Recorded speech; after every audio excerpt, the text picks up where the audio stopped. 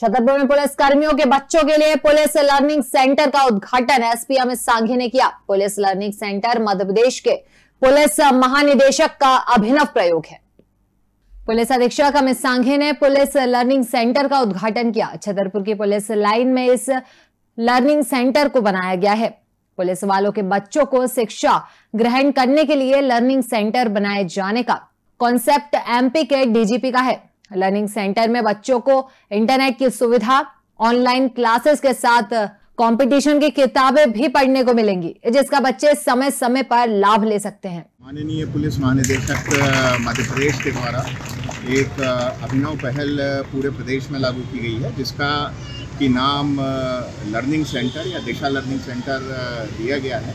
और इसके पीछे सर की ये उद्देश्य था कि सामान्य रूप में हमारे पुलिस में जो काम कर रहे हैं, आरक्षक, प्रधान आरक्षक, कई बार परिवार बड़ा होता है, साथ में लोग भी रहते हैं तो बच्चे को पढ़ने के लिए प्रॉपर स्पेस घर में नहीं मिल पाती है, कई बार वाईफाई कनेक्टिविटी नहीं मिल पाती है, कई बार अच्छा कंप्यूटर सिस्टम नहीं मिल पाता है।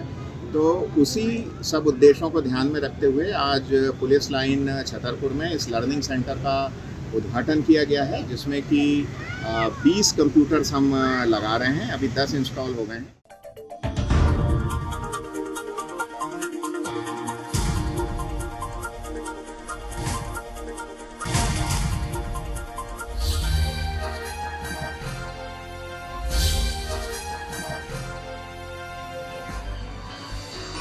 आप देख रहे हैं दखल न्यूज़।